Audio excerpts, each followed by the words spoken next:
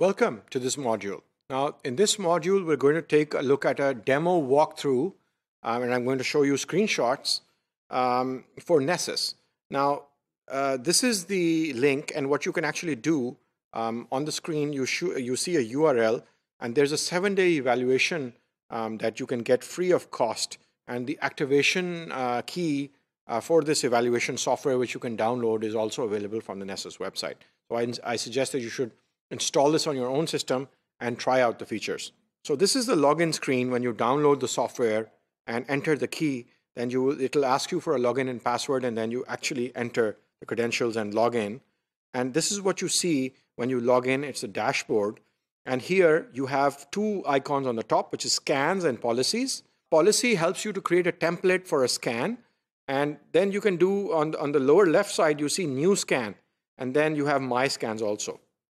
So this is, uh, when you click on new scan, there's about 25 to 30 icons. And whenever you create a profile for a scan, it'll appear as a new icon on this window. Uh, so profile creates um, some settings, which creates a template and an icon under this new scan window as well. And here there are some uh, important uh, icons. There's advanced scan. You may not be able to see this graphic clearly, but I'll just read them out to you and you can actually do this on your own computer. There's advanced scan, there's web application test. They now have a WannaCry ransomware test. They have a basic network scan. They have a malware scan. They have a credential patched audit. They have policy compliance auditing. And there's so many important scans which are all here. So this is the WannaCry ransomware scan. And I actually did this on my system and it passed. So I actually had the vulnerability patched on my system.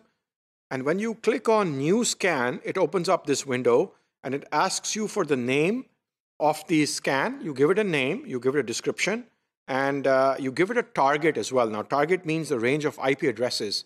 You have to enter it here under new scan. And when you do that, you see this uh, dashboard view, um, which shows you those scans that you have created. And then, for example, I created two scans here. One is Nahil PC, which was for my PC, and the target system was my PC. And then I did local PC WannaCry. Um, and both of these have used different scan uh, icons or different scan um, templates. So, and then once you see this, uh, you can actually start the test and stop the test by clicking on the relevant icons here. So for example, let's walk through an advanced scan which is it says configure a scan without using any recommendations for an advanced scan.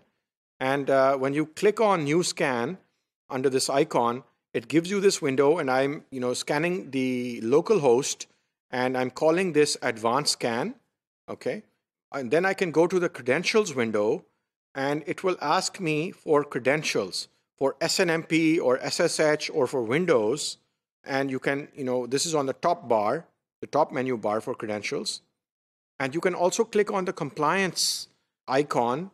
And here there's a long list of benchmarks. It shows for Amazon, Blue Coat, Checkpoint, Cisco, Dell, Citrix, and there's a long list of the uh, benchmarks.